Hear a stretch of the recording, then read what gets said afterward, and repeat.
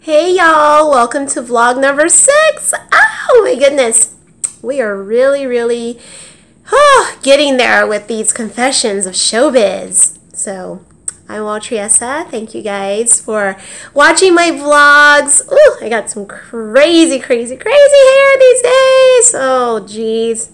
I'm still trying to get used to being uh, natural, and it just means like this is the hair that grew out of my head because I wore all those hair extensions and wigs for way, way, way too long, way too many years. But let's get into it. Vlog number six. You guys know how I got my agent.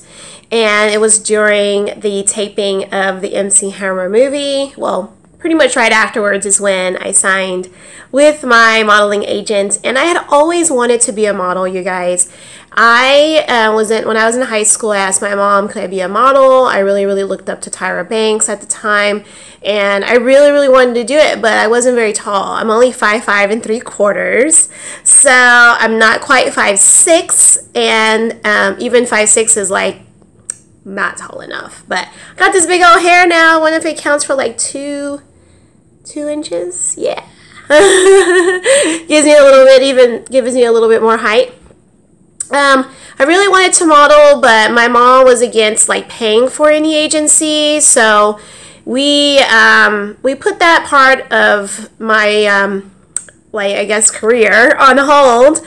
And look at what happened. Someone referred me, recommended me to sign with this agency, and um, if you guys don't remember who, go back and check out vlog number five because I'm telling you guys exactly how I landed my agent.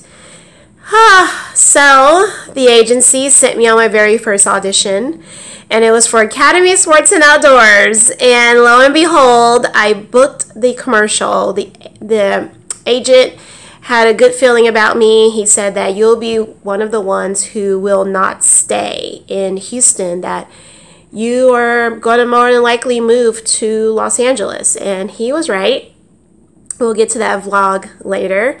But um, at this time, I was still in Houston, went on my first audition for Academy Sports and Outdoors. It's a little uh, like fisherman's store, like anything you can think of that's for outdoors, you buy here. So, like boating and jeans and clothes and everything, you name it for outdoor sports.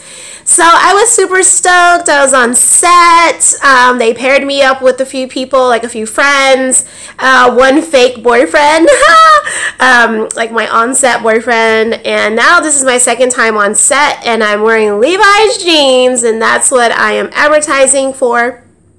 You guys, this was so cool. I um, it's always been hard for me to take it all in, the things that I get to do, the things that I've done as a professional actress and a professional model and dancer. Um, and now mermaid.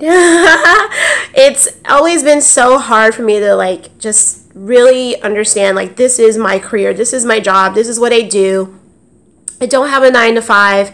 I have a whenever I wake up to whenever I close my eyes type of career, and it's more than a job. Um, not a lot of people can do what we do, and I love being a performer. And this is my very, very first commercial that I landed, and it played on um, television. Every everyone who had an Academy Sports and Outdoors saw this commercial. So it was regional. It was all over Texas and the surrounding states. And um, my mom saw it on TV. She was just so excited. By the time it aired, I had already moved. had already moved to Los Angeles. So my agent was right. Um, it aired probably six or seven months later, something like that. And I had already um, relocated. So he was correct. And I started my journey or continued my journey on as a professional performer.